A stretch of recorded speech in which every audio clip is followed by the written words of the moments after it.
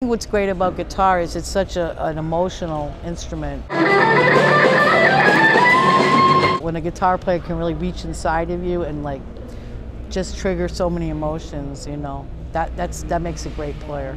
Joanna Connor is one of the greatest blues rock guitarists today, but her rise to the number one Billboard Blues album was anything but easy or quick.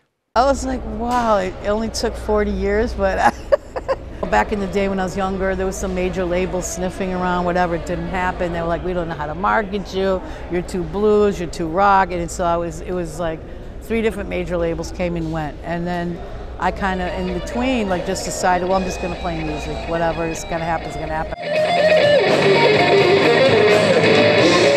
While Connor has always enjoyed music, her first passion was dancing, not guitar. I was seven years old, and all the girls in my neighborhood were going to take dance lessons, and I wanted to. And I kept asking my mom, and she was like, mm-hmm, yeah, yeah. And then one day I wake up, she goes, well, guess what? Instead of dance lessons, I bought you a guitar. Something that caught Joanna off guard. And I was like, a guitar? I was, you know, but it, she, my mother had some kind of uh, extraterrestrial wisdom or something, so, and that was started it. Connor started getting more serious with guitar at 14. I was born in Brooklyn, New York, but I grew up in Worcester, Massachusetts, and um, that's where I was at Worcester, Mass. And our first gig uh, was at the Sons of Italy Lodge. So our bass player's uh, family were members, and we played there every Friday night.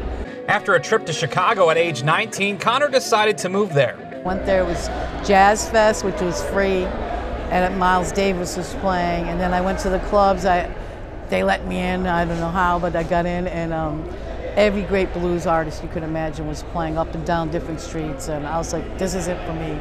So I moved there when I was 22. Connor joined Dion Payton's band and soon after formed her own band. We were the house band at the Checkerboard Lounge at this Buddy Guys Club, and then we became the house band at the Kingston Mines, and that was like 1985. So I played there with him in the 80s, and I, uh, the club owner gave me my own night with my band. I didn't even have a band. He's like, I want you to give you Tuesday nights, get a band together, you have a month. I'm like, and I was like 26, and uh, that started it. So how many gigs has Connor played at Kingston Mines? Oh, well over 1,500. And at Kingston Mines, you never know who will walk through the door. Especially back in the 80s and the early 90s, like Mick Jagger, I met him, Herbie Hancock, Aretha Franklin, uh, Bruce Willis, uh, Nicolas Cage, all these actors and musicians, whenever they were in Chicago, would go to uh, John Belushi, Dan Aykroyd. They would all come through there.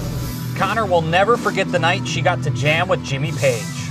He's one of my biggest influences, and I still love Led Zeppelin. So I was just so starstruck, and, and he was so nice and so down to earth, and we spoke to each other, and we had he was just a lovely guy, and uh, but I was just on cloud nine. And I, I wish it was the age of the uh, you know smartphone, so I have video and, and photo, but there's nothing.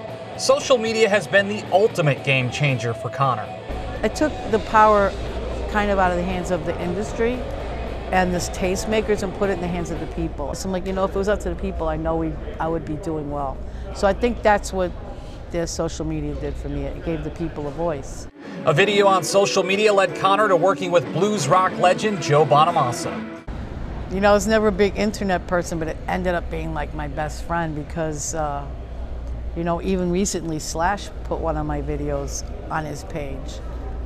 So it keeps, like, these things keep happening. I got into a movie because of it, and with Joe. I mean, Joe knew about me, but I think that video brought, he's like, oh yeah, okay. And um, that, that's what triggered it. Connor went to Nashville to record 4801 South Indiana Avenue with Joe Bonamassa and Josh Smith. The album debuted number one on the Billboard Blues chart. It was kind of rewarding in the sense that like my perseverance, it paid off. And it also it was like when I was turned down by labels or when I was overlooked at festivals, whatever, it was kind of like saying, no, you're all right. And Connor doesn't take her rise to the top for granted. I'm really humbled by it too, you know. And and my son and my daughter, they're like, "Mom, you made history," you know. And it's like, well, I guess I kind of did. For Blues Rock Review, I'm Pete Francis.